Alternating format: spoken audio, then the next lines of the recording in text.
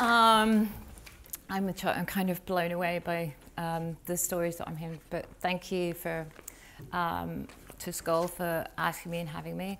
Um, my aha moment is a bit random, but I hope my story will show that I kind of believe in random.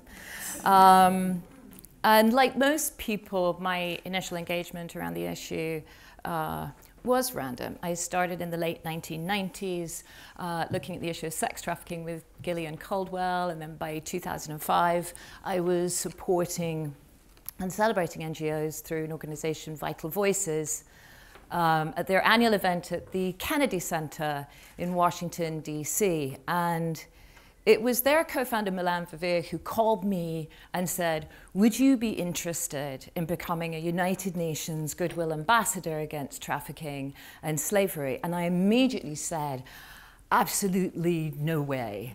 Um, and I said that not because I'm an awful human being, although maybe some people at Skoll Forum might think, oh, that's awful. Um, but I said that because at the time, the picture that we were seeing was that the vast majority of this was sex trafficking. And it's not that I didn't think, yes, that's urgent to solve, that's devastating for the individuals it was because I couldn't see solutions to it and, and, and I felt that that was vital. I saw it as a government and a police enforcement challenge.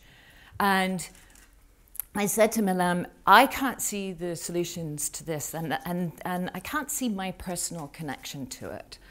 Um, and so, no. And she very sweetly said to me, Get over yourself um, and get out there, uh, take on the role, and use it to investigate and get a bigger, deeper picture.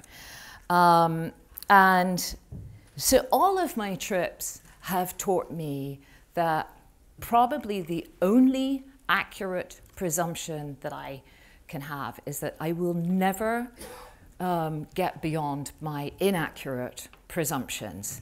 Um, and the first one, the underlying one that I had, was that I was blessed because I lived in a country that respected human rights. Um, and I was free and I was privileged because of this random luck of where I was born. And yes, that was awful but that I, that I wasn't causing it. Um, and I think that was what was underneath it. The first trip that I took, however, was to Lake Volta in Ghana. Lake Volta is the second largest man-made lake in the world. When they created the lake, they didn't clear the trees. So the fishing there is fantastically difficult. You can see it's this bizarre landscape with these sodden tree trunks sticking out of the lake. Um, and local NGOs there had discovered this issue and taken action against it because of the numbers of children's bodies that were washing up on the shores. So I went to meet with them sorry, one of those white people going out there. I went to meet with them and I met with child survivors who told me about how they were beaten with oars in order to make them dive deeper into these cold and dangerous waters, sometimes at night, to disentangle the nets that were caught on the trees and how they had to calm fish as big as their arm span. And they would do it by finding the face of the fish and squeezing the eye sockets to calm it. And the trick was to not get your fingers trapped in the gills because then the fish could overpower you and that's how they'd watch their friends drown. Um, and sorry, note to self, learn your script. So there are thousands of, um, there are thousands of these kids believed to be trapped on little islands in this vast lake, but we went to look at it at the shore. And I knew that um, I knew not to expect that I was going to see guns and chains, that this was about coercion. But I didn't expect not to be able to see it at all. And I found myself as, yes, uh, the now heavily sweating, horrible white European lady with her presumptions, um, looking at this person that they were looking at and thinking, well, I'm, I'm completely confused because he seems quite healthy and robust to me. And obviously my underlying presumption was that I was going to see somebody emaciated and starving as an indicator. Um, and eventually I had to confess, I'm sorry guys, I really, I don't know what I'm looking at. Um, I, can't, I can't see it. And what they said, what they described is, the boy is this guy here on, on the left. What they said is, we can tell from his height, he's probably about 12 years old. Um, uh, but he's built like a man, right? He's really muscular. That tells us that he's probably done about five years of hard labor. That's a child at risk. I wouldn't have seen that. And it, it was actually talking to local experience that helped me see that and many other um, presumptions. Now, I got to walk away, but as I did, I asked slightly uneasily, um, where does this fish that they catch or they're forced to catch, where does it end up? Like, have I ever, have I ever eaten this? I was brought up on fish fingers. You know, I, have I ever actually eaten this fish? Could I have paid for it? Have I ever fed this fish to my child? And um, I realized when I got home, they went kind of quiet. I realized when I got I couldn't find out because companies aren't required legally to disclose that information. Um, and my other trips around the world started to support the idea. Yes, it is. It's in every, almost every country in the world, and it's in almost every product supply chain. And suddenly, my so-called blessed free life, which was completed by my cell phone, my computer, my car, my coffee, my clothes, my, my, my food, my whatever, was supporting a system that trapped people, most likely at some point, in enslavement and forced labor. And it completely debunked the myth of my freedom. Martin Luther King talked about how all life is interrelated, um, that we are tied together by a single garment of destiny, that injustice anywhere is a threat to justice everywhere. And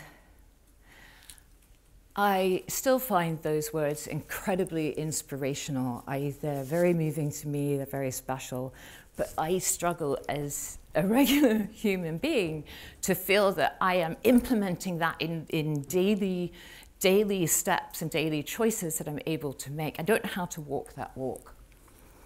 Um, but as we walked towards the lake, the NGO that I was working for spotted a suspected trafficker and they said, come on, we're going to talk to him. And all of a sudden, I'm starting to feel not just sweaty, but anxious.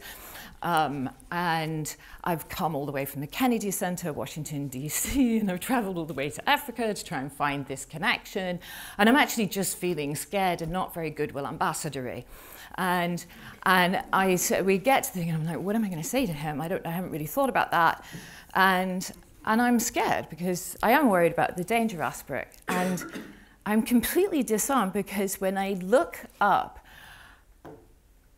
I see this young man with a fresh, open, smiling face. And it's completely not what I'm expecting.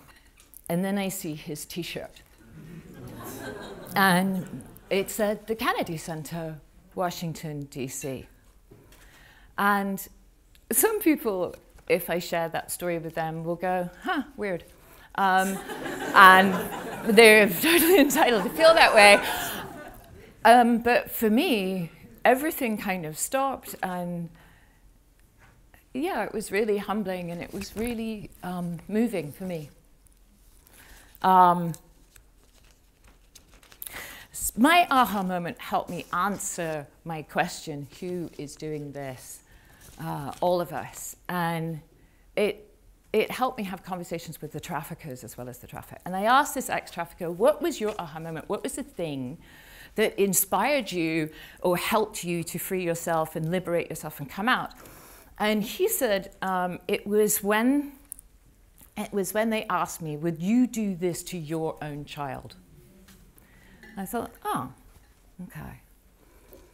And it took me a while to realize that I was enabling my life, I was enabling the life of my own child while putting other children around the world at risk and their families, maybe even fatally. Um, and that it was meeting these people face to face and talking to them, sharing that narrative, sharing the stories that that really brought that home to me. I, I was a concrete, participant in global economic apartheid. Um, we now know that for every one person forced into the sex trade, four people around the world are forced to work. The selling of children is the fastest growing global crime. My aha moment helped me to come home, uh, found the organization Asset, and we work on systemic solutions. And we chose uh, to originate a legislative solutions, one of many in the space, um, that is the Transparency in Supply Chains Law. And this is a consumer rights disclosure law that requires the major manufacturers of California to disclose what their practices are throughout their global product supply chain to eradicate trafficking and slavery. With a lot of help and a lot of support, it passed in 2010, came into effect in 2012. Um, of the recent evaluation of, uh, uh, we've evaluated 1,961 companies incorporated by the, by the law, which doesn't sound like a lot of companies. We recently found out it, uh, it's evaluated as $48.4 trillion in, um, in global trade. Thanks to the Transparency in Supply Chains law going global, it's now incorporated in the UK Modern Slavery Act. It's now 20,000 companies. And our hope and our work is to increase the understanding of, of what that is, what disclosure is giving us in order that we can continue to break denial. I do believe it's helped break denial. And I believe it's a tool to propel solutions going forward. My aha moment I think helped me because I went out to Ghana with a bunch of horrible white presumptions, clearly, um, and with a bunch of questions. And so now when people ask me, where is it worst? I say, in my own home. Who is doing it? Me. Why is it happening? Denial. And who, who can solve it?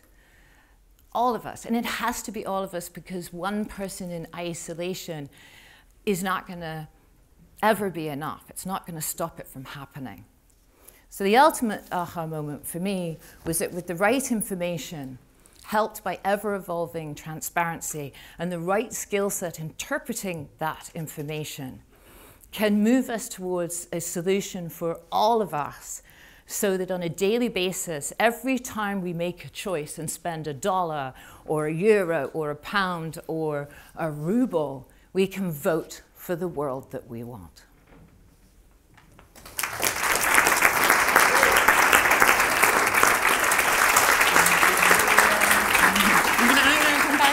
I need to. Okay. He, he needs my water bottle. Okay. Um, thank you. So. Um, I just want to ask you one question around the, the Transparency in Supply Chains Act is something mm -hmm. you're so proud of and is so important. I want to see if you can help make it clear for everyone um, since it's really not about blaming and shaming, it's about exactly what it sounds, transparency. Like, how do you see that leading to the real change that you're hoping happens? Well, obviously, we've got a long way to go with it. This is the California version is step one. It's a foot in the door. It's not the complete story. Um, and I almost put a slide up that said, um, beware of the bull. Um, because what we found is that companies own land rights, factories, farms. Uh, where people work is a land right issue. You're not allowed to just walk in, find the person in trouble, and walk them out. It's more complicated than that. And so, what we need transparency is a window into the best, into the practices that companies are using.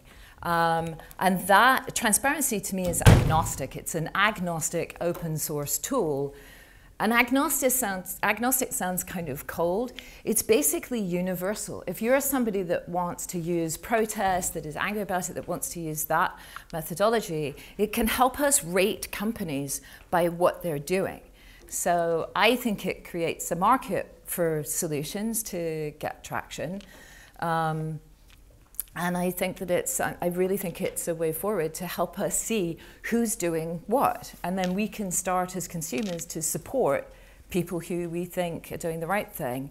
And it challenges companies who otherwise were able to hide behind the fact that nobody was talking about it. You have great actors in the space who would say to us, We don't want to talk about it. It's like we're going to look like the bad guys by stepping up and talking about forced labor in our supply chains. And the others are just sort of sitting there going, Go on, that'll affect your brand.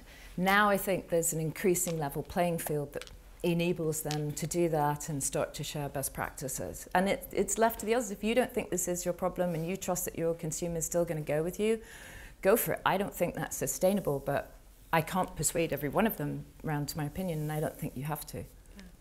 So, what's your favorite U2 song? um, I, uh, I had to look it up. Iris, Hold Me Close. Thank you for sharing your personal journey with us. Thank you.